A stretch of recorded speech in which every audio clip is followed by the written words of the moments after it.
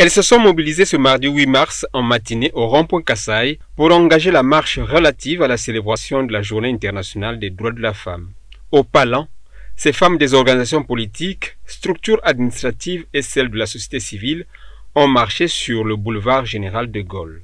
On marche aujourd'hui parce que c'est la fête de 8 mars, la fête de la femme. Demain ou après-demain, nous allons faire des, des causeries, débats c'est pas pour aller dormir dans les bars, mais nous devons continuer tout le mois de mars pour faire les causeries débats. Accueillies à la préfecture par les autorités départementales de Pointe-Noire, les femmes ont suivi tour à tour deux allocutions.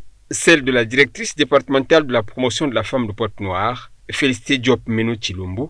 Cette année, la célébration du 8 mars 2022 est placée au plan international sur le thème l'égalité aujourd'hui pour un avenir durable.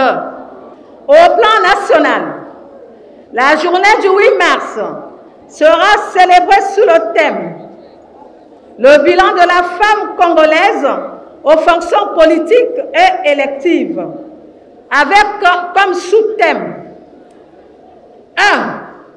Femmes congolaises. Impliquons-nous dans la lutte contre les discriminations et favorisant la masculinité positive. Pour l'exhortation du préfet du département à l'endroit de la femme.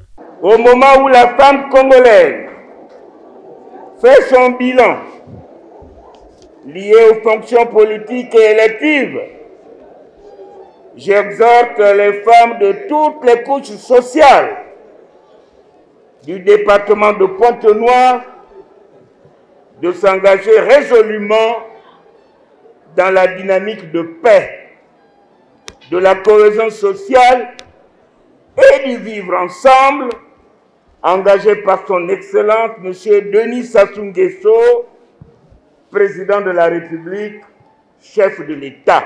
Signalons que cette 112e journée internationale des droits de la femme est célébrée sous le thème L'égalité aujourd'hui pour un avenir durable sur le plan international et le bilan de la femme congolaise aux fonctions administratives, politiques et électives sur le plan national.